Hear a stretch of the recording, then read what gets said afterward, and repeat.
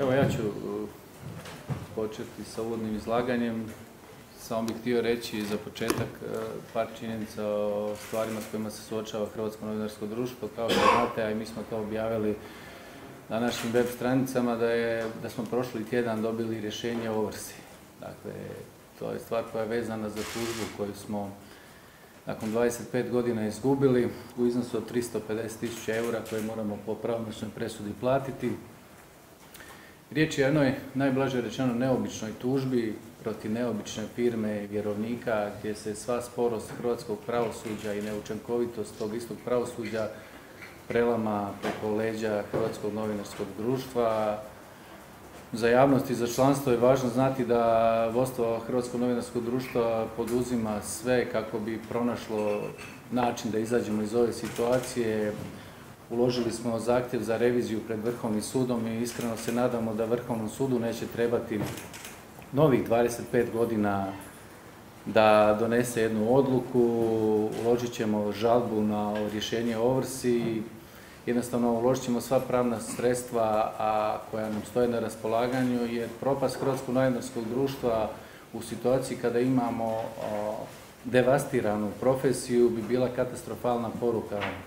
pa ja ovim putem želim poručiti da će Hrvatsko novinarsko društvo izaći iz ove situacije.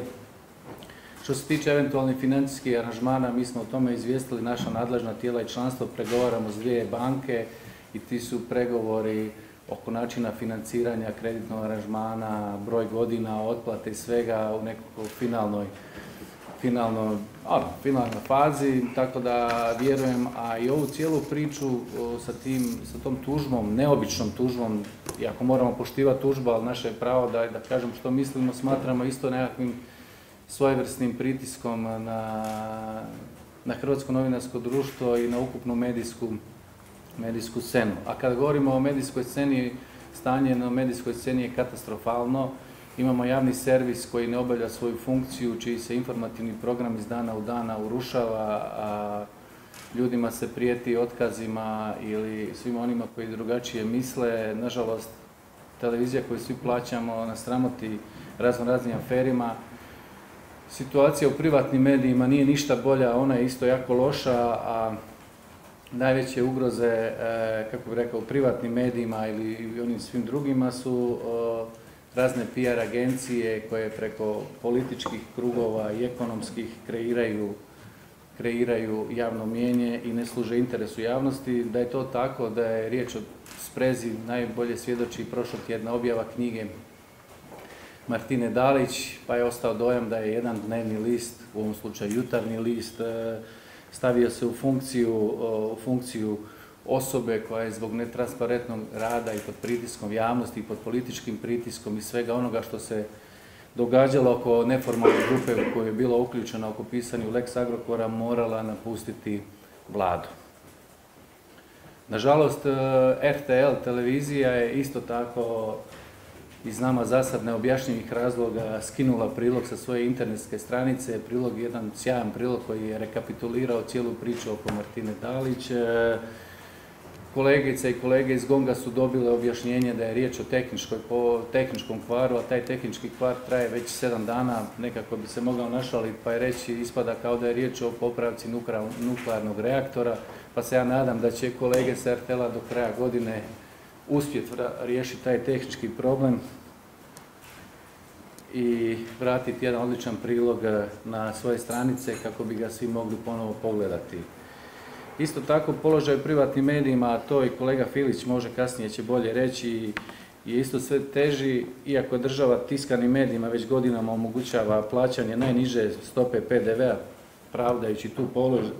povlasticu potrebama očuvanja radnih mjesta i stečenih razina njihovih radnih prava, otpuštanja se nastavljaju. Ja vjerujem da premijer Plenković i članovi vlade, primjerice koji su bili na predstavljanju knjige Martine Dalić, ne znaju da, da vlasnik dnevne novine koji je izdao tu knjigu već šestu godinu je na sudu sa svojim novinarima zbog e, toga što je jednostrano izvan snage stavio e, kolektivni ugovor koji štiti prava novinara. Isto tako poseban problem u, u, u našoj profesiji i zatiranju slobode govora, a kao što znamo članak 38 Ustava Republike Hrvatske zabranjuje cenzuru su tužbe. Dakle, imate jako velik broj portala, novina koji su zasuti tužbama, a jedini cilj tih tužbi je zastrašivanje novinara kako bi ih se odvratilo od onih tema koji pišu, a to su teme u interesu javnosti. Isto tako ono što nas zabranjava je porast govora mržnje u javnom prostoru i veliki broj prijetnji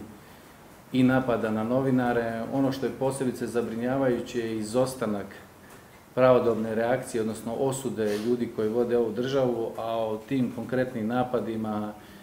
će nešto reći kolegica Ema i kolega Macoko. Ja bih za sad toliko u uvodu.